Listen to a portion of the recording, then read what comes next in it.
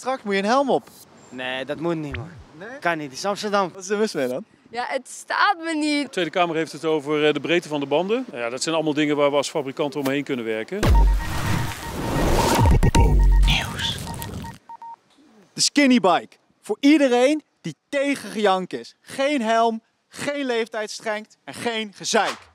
Dat klopt ongeveer. Ja. Ik ben vroeger echt vaak zat eh, uit de boom gevallen, eh, lantaarnpalen, onvrijwillige knuffels gegeven, scooter gevallen en nou ja, ik, ik sta er ook nog. Eh, ja, zijn we niet gewoon te bang? Het is in de cijfers te zien dat het een probleem is. Eh, chirurgen, tandartsen, eh, ze zien het dagelijks langskomen. Ja, ik, ik vind het echt onterecht. Kijk, eh, in de basis is een fatbike een veiligere fiets dan een normale fiets. Hè, dus we zeggen gekscherend wel zo. Eigenlijk zouden al die 70-plussers, waar de meeste dodelijke slachtoffers vallen, zouden eigenlijk op een fatbike moeten. Hadden we minder doden. Nu, eh, ja, je haar zit nog goed, maar straks moet je een helm op. Nee, dat moet niet man. Nee? Kan niet, het is Amsterdam toch? Dan fiets ik met de helm op. dat is gewoon een beetje jammer. Wat is er mis mee dan? Ja, het staat me niet. Daar heb ik helemaal geen zin in. Nee. Nee, dat, dat ga ik niet doen. Dan ga ik liever normaal fietsen. Over een paar maanden ben jij eh, zwaar crimineel en ik de heilige maag Maria. Ja. Wat is het verschil? Nou, ik heb eh, dikke banden, eh, fat tires, fatbike. En jij hebt eh, dunne banden, skinny bike. Dus jij zit aan de goede kant. Is dat nou echt het enige verschil wat straks eh, buiten de wet of binnen de wet gaat zijn? Ja, de Tweede Kamer heeft het over eh, de breedte van de banden, eh, over de lengte van het zadel, de verstelbaarheid van het zadel. Ja, dat zijn allemaal dingen waar we als fabrikant omheen kunnen werken. Wat houdt dat in skinny bike dan? Nou, het is het verschil tussen eh, hoe dik de banden zijn en dan is het dus geen fatbike meer, hoef je ook geen helm op. Maar voor de rest is hij helemaal hetzelfde. Goed idee?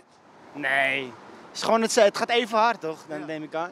En fabrikanten laten hier eigenlijk mee zien eh, dat verkeersveiligheid eh, hun niet heel veel kan schelen en dat het hen vooral om het geld draait. Als de industrie het aanpast, zoals jullie hebben gedaan, dan zijn jullie meer bezig met geld dan met veiligheid. Wat vind je van die uitspraak? Kijk, als, als gele auto's vaak te hard rijden en je verbiedt dan gele auto's, ja, dan gaan diezelfde mensen in een rode auto rijden. Het zit niet in het ontwerp van de fiets. Op zich vind jij een helm wel een goed idee. Ja, op zich wel. Maar waarom draag je hem nu dan niet? Ja, ik heb geen tijd om een heb, ko- heb kopen, daarom. Oh, dus gebrek aan tijd. Maar als je wel tijd hebt, dan ga je meteen een helm kopen. Misschien ja. Een helm, het, is wel, het zou wel goed zijn. Maar je kan het toch niet houden.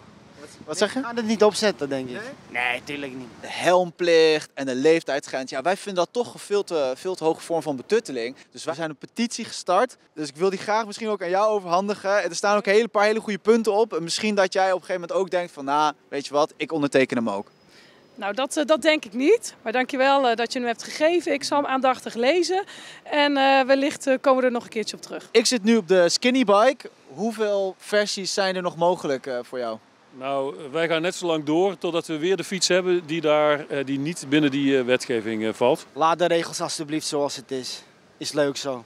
Yo, wil jij nou meer Po-nieuws? Vergeet ons dan niet te volgen op social media en abonneer ook even hieronder, want dan heb jij als eerste de nieuwste video's. Later.